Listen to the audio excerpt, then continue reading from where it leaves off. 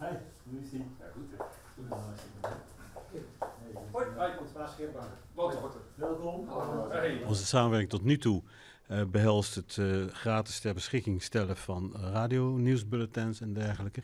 En eh, samenwerking op het moment dat wij calamiteitenzender zijn. Maar hier gaat het ook over talentontwikkeling. Er kloppen hier wel eens mensen aan die nog niet zo ver gegroeid zijn dat ze hier aan de, aan de orde kunnen zijn. Maar die wel bijvoorbeeld bij Exact eh, wat vlieguren kunnen maken, alvast als presentator. Nou, dat zijn dingen die over en weer kunnen groeien. En daarnaast kunnen we ook content, inhoud eh, uit gaan wisselen. Zodanig dat we er beide beter van worden. Maar vooral dat onze kijkers en luisteraars er beter van worden. Ja, die willen we ook niet.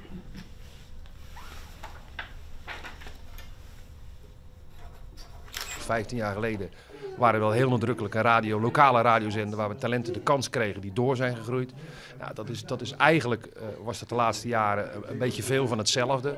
En eh, dat proces zijn wij zelf al ingegaan met heel veel eh, nieuwe mogelijkheden, nieuwe programma's. Ja, en daar sluit dit natuurlijk fantastisch bij aan. Dit biedt voor ons en voor RTV Rijnmond natuurlijk een unieke kans om, om talenten die hier binnenkomen, die het net nog niet hebben, feitelijk het, het podium te geven in Barendrecht. Om daar te rijpen, te ontwikkelen.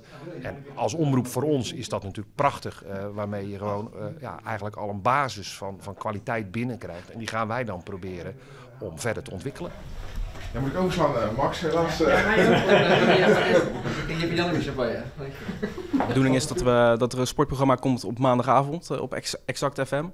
En eh, ik ga dat samen met, eh, met nog twee anderen eh, gaan wij daar de presentatie voor verzorgen. En eh, het is voor mij meer om te ontdekken of presenteren iets voor mij is en eh, of het mij ligt. En eh, nou, ik ben blij dat, eh, dat deze kans eh, nu, eh, nu langskomt. Nou, wij blijven wel omroep voor Barendrecht. Dus wij gaan in grote mate gaan wij onderwerpen brengen die betrekking hebben op de gemeente Barendrecht. Natuurlijk kijken we natuurlijk ook over de grens, want het houdt niet op bij het bordje wat aan de gemeentegrens staat.